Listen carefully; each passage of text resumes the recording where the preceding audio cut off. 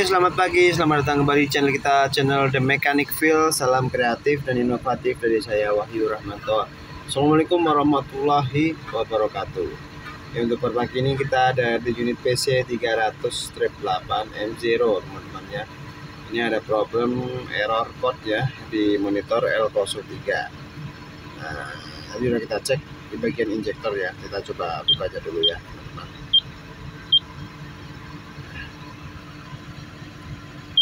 Kita cek ke catatan abnormal ya. Ya tertera ini errornya ini teman-teman. Eh error CA bentar ya. Oh nggak jelas. CA323 teman-teman ya. Ini ada injektor nomor 5 ya open atau short error. Nah, ini kalau seperti ini ada banyak kemungkinan ya bisa pada wiringnya atau male konektornya ya yang mengalami disconnect atau kotor atau seperti apa. Ataupun bisa juga uh, solenoid solenoid si injektor ya nomor 5 mengalami uh, short circuit ya. Atau dia rusak ya untuk solenoidnya teman-teman. Ya nanti kita cek sama-sama untuk troubleshootingnya ya eh, mengarah ke mana nanti ya kita coba cek satu persatu untuk eh, kita pastikan dulu dari inputan eh, output voltage yang menuju injektor ya. Eh, mungkin nanti bisa kita lakukan continuity juga di bagian pin injektor yang menuju ke eh, ECM atau engine controlnya teman-teman ya. oke kita lanjut untuk troubleshootingnya Langkah pertama kita bersihkan dulu ya untuk male konektornya pada wiring injektor 5 dan 6 di paling ujung sini teman-teman ya. Kalau untuk sana itu 1 2 ya, 3 4 dan sini 5 6 ya. Jadi ada 3 eh, male konektor. Jadi satu konektor itu membackup dua injektor ya. Ini untuk ada ada 4 pin kan tuh ya. Jadi min plus min plus ya. Positif negatif positif negatif untuk 5 6 dan eh untuk 56 ini. Oke. Kita coba bersihkan kontak cleaner dulu ya. Kita pastikan baru nanti kita akan cek lagi. Oke coba kita on lagi ya teman-teman untuk monitornya. Apakah masih ada error? Nah ternyata masih tetap ya errornya ya. L03 sama. Berarti ini mengarahnya ke sistem sudah ya electrical system. Jadi bukan di bagian konektornya udah kita bersihkan ya. Kemungkinan besar ada open load pada wiring ataupun uh, apa dari solenoidnya solenoid, solenoid injektor yang bermasalah. Ya, kita coba lakukan pengecekan ulang nanti. Nanti kita buka cover injektornya oke langkah keduanya kita udah remove ya untuk uh, cover engine covernya ya. Sama mel konektornya untuk eh, konektor pada engine controller di C01 dan C02. Nah nanti untuk wiring injektor di nomor 5 itu ada di pin eh, 46 dan 60 ya. Di posisinya di sini teman-teman. Kita dicek di C01.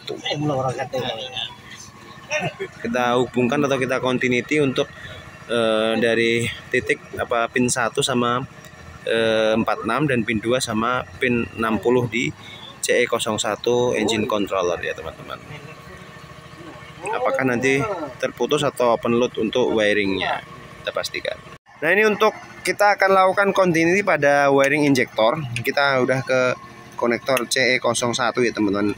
Itu eh, apa konektor yang wiringnya ya outputannya menuju ke 6 injektor ini. Ya kita ngomongnya ke pin uh, injektor nomor 5 itu ada di pin 60 dan 46 ya di sini ya. Nanti ke situnya pin 12 di nomor injektor nomor 5-nya ya. Nah, kita continuity ya seperti ini. Kita buzzer ya, ada speaker ya. kita continuity. Apakah terhubung?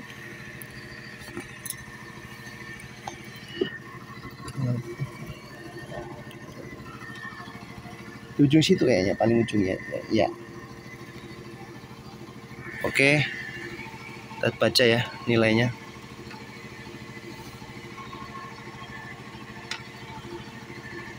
Eh, sebelahnya Myongki ya terhubung. Nah ini ada nilai ya terhubung ya teman-teman. Ya berarti saya pastikan di pin 60 aman. Sekarang ke pin 45 nah kita ke pin 45 yang satunya ini masih open ya teman-teman. Kita cek ya. Nah ini ada nilainya 4,2 ya. Jadi sudah kita pastikan untuk wiringnya yang dari C, CE01 ke sana ke injektor nomor 5 juga tidak bermasalah atau dia tidak open tidak putus teman-teman ya. Nanti kita akan lakukan e, pengecekan lagi di bagian solenoid injektor ya Oke kita mulai untuk measurement ini ya e, apa resisten dari injektor teman-teman. Kita coba pastikan untuk yang problem tadi di nomor 5 ya.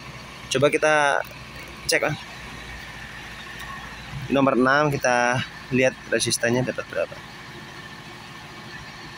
Di angka oh, 6 ya 6 ohm ya.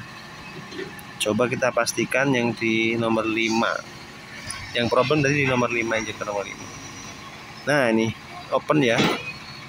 E, putus hambatannya berarti problemnya di injektor ya teman-teman. Di solenoid injektor nomor 5 yang mengalami trouble atau open circuit. Nah kita coba pastikan di lain di nomor 3 ini. Oke bentuk belum ya. Ini di nilai berapa hambatannya? Oh kurang ya ini di angka 4 intinya adalah hambatannya ini maksimumnya di 6 ohm ya teman-teman. Ini mendapat dinilai tiga aja ya jadi sudah banyak yang mulai lemah juga sih sebenarnya. Cuma yang putus di nomor 5 oke. Karena dia 0 ohm untuk hambatannya. Kita coba dia lain. Oh bentar dioda nih. Keterpencet. Nah ya ini ya ini dinilai 5 ya. 5 ohm jadi rata-rata dinilai 5 ohm tapi yang standarnya itu di 6 sampai 7 ya. Jadi intinya eh, yang problem pasti di nomor 5 tapi yang lain sudah mau mulai menyusul ini teman-teman. Oke. Nah ini kita udah mulai remove atau pelepasan untuk piping injektor ya nomor 5 ya teman-teman. Nah, jadi kita akan lepas untuk injektornya baru kita lakukan pergantian komponennya tetap semangat untuk pagi ini. Uh,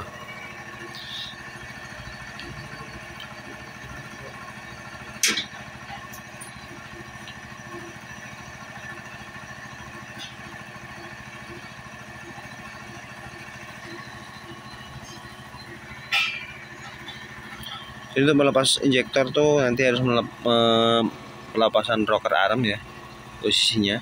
Ini nggak perlu di top teman-teman ya catatan kalau untuk eh, apa satu injektor saja ya. Sebenarnya eh, apa aman saja untuk tidak tidak usah dilakukan untuk top karena eh, posisinya hanya pelepasan injektor ya.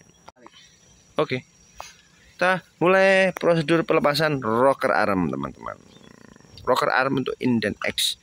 Baru kita uh, bisa remove injektornya nanti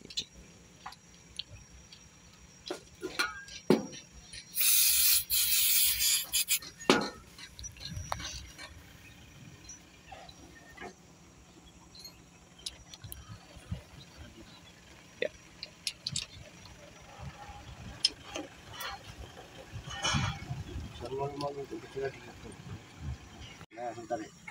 Mau dinginin enggak? Nah, panci. Terus, terus. Ini yang.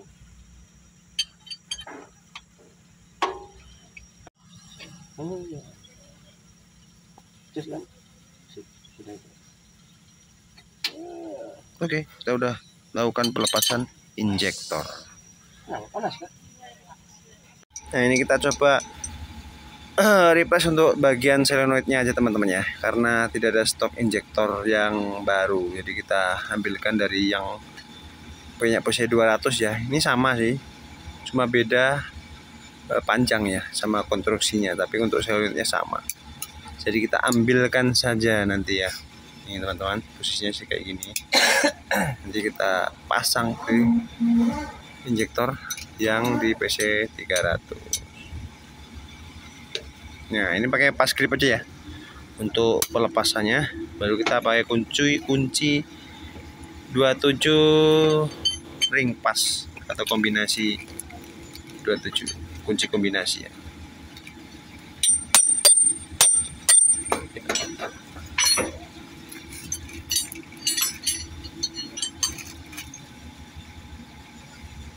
Nah, ini teman-teman ya. Udah tidak ada error muncul ketika kita on ya. Tadi sudah selesai untuk pergantian solenoid injektor ya nomor 5 dan udah tidak ada error lagi ya. Ini tadi sudah kita hapus teman-teman errornya.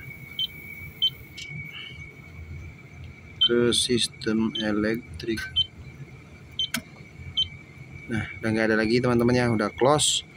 Jadi problemnya ada di solenoid injektor yang mengalami open load atau damage ya untuk solenoidnya.